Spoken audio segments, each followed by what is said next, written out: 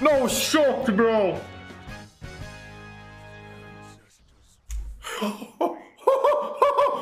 Dude, no.